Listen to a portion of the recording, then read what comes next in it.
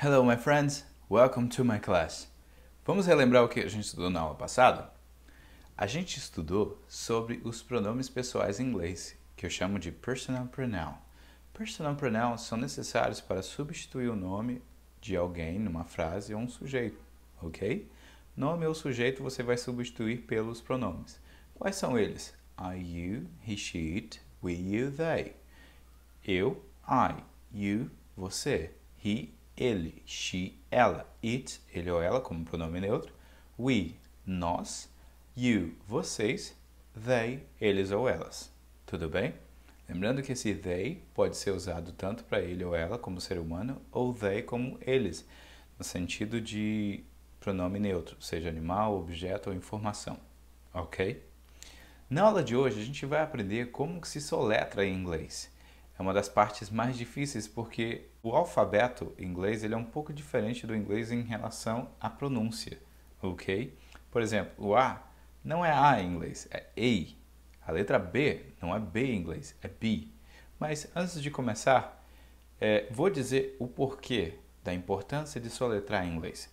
Toda vez que você estiver trocando informação pelo telefone ou a pessoa não entenda seu nome, geralmente porque tem duas vogais ou termina com uma consoante. É um pouco complicado de tentar entender. Então é por isso a necessidade de se soletrar em inglês. Soletrar em inglês é spell, to spell. Repita comigo, to spell. Very good. Soletrando é spelling, spelling. Então vamos soletrar. Em inglês temos a letra A, que é A. A. Repita comigo, A. Depois temos B, B, B, C, C, C, D, D, D. A letra E se fala I, I, I.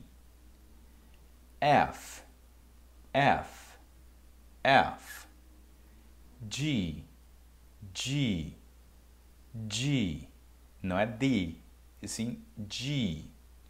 Agora uma das letras que mais confunde as pessoas, que é a letra H. Em inglês H é age, age, age. Repita comigo, age. Very good. Depois da letra H, I, I. A letra I se fala I, I. Lembra do eu em inglês? É I. I am Luan. Eu sou Luan. Pois é. Lembra que eu disse que você nunca vai encontrar como letra minúscula? Você só vai encontrar como letra minúscula quando não estiver em relação a eu em inglês. Por isso que não pode falar eu em inglês como letra minúscula, e sim como I, letra maiúscula. Mas a letra I em inglês se fala I. I. Ok? Repita comigo. I. Very good. Depois temos J. J. K. K. K. L. L. L. Depois de L temos M. M. Repita. M. Very good. N. N. N N. O. O. O. P. P. P. Very nice. Mais uma letra que também confunde muitas pessoas. Q. Q. Q. Ok? Depois temos o R.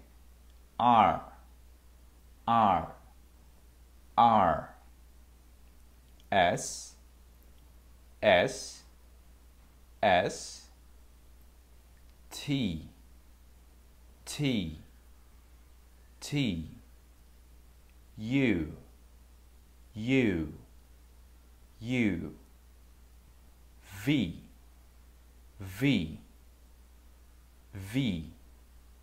All right? W, quase no português. W, W, X, X, X.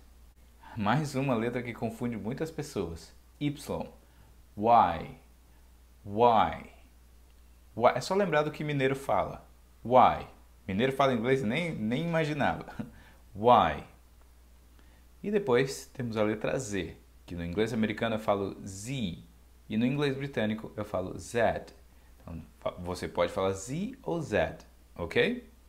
Então, vamos recapitular cada um deles?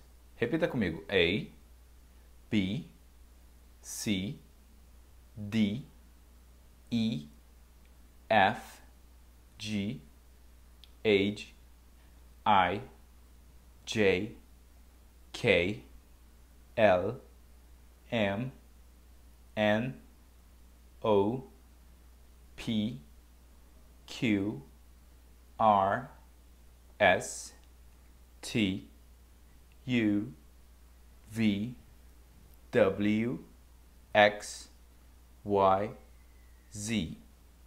Very good. Então, como você soletraria o seu nome? Eu vou soletrar o meu. Very simple, muito simples. L-U-A-N. L-U-A-N. L-U-A-N. As vogais em inglês têm um som como se fosse duas vogais no português. Por exemplo, a letra A, eu falo A. A letra E, eu falo I. A letra I em inglês, eu falo I. A letra O, eu falo O. E a letra U, eu falo U. Então, as vogais em inglês são A, E, I, O, U. É por isso que às vezes também confundem nós brasileiros, porque a fonética não bate. Alright? Então vamos lá. Meu nome L-U-A-N. Vamos soletrar Marcos em inglês. Marcos. Marcos. M-A-R-C-O-S. M-A-R-C-O-S. Vamos soletrar Ana. A-N-A. A-N-A. Vamos soletrar Rodrigo.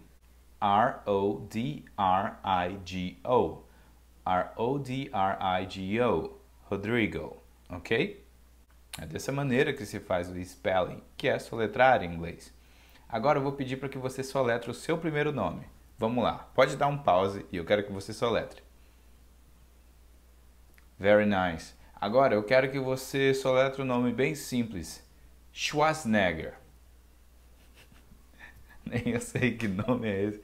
Tem mais letras no nome desse cara do que o alfabeto em português mesmo.